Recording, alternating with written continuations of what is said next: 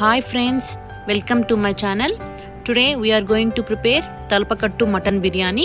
Process: Take a blender, add half tablespoon of cloves, 2 inches of cinnamon stick, 8 cardamom pods,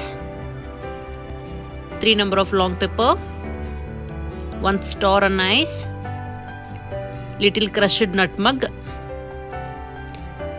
10 cashew nuts, half tablespoon of stone flower, 3 bay leaves, grind finely, grind into a fine powder, transfer to a bowl.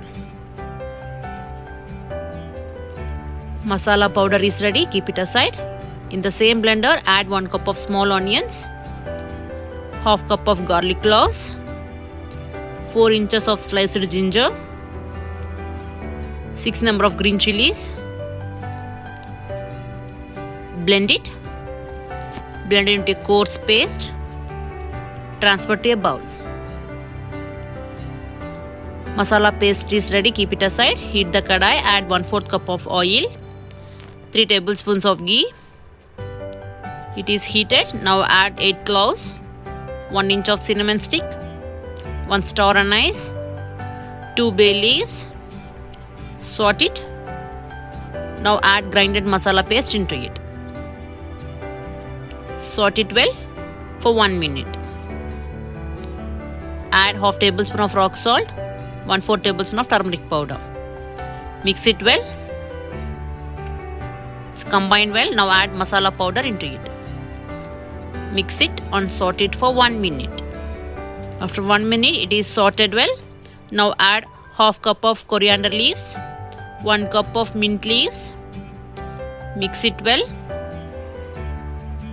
Leaves are shrinked. Now add 1 cup of curd. Mix it. Mix it well. Add 3 tablespoons of lemon juice. I have taken 750 grams of mutton and it is cooked with salt and turmeric powder for 2 whistles. Add it. Combine it well.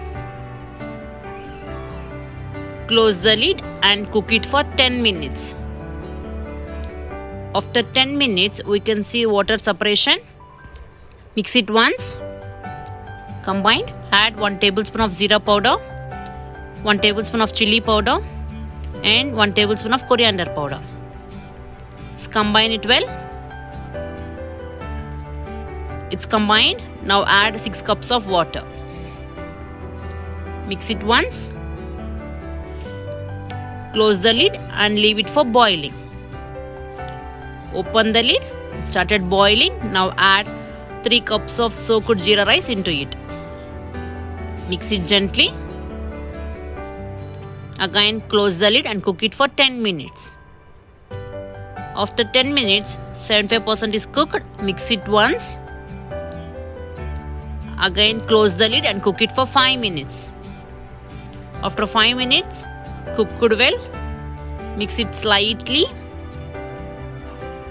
Take out from the stove. Place tawa. Place it on tawa.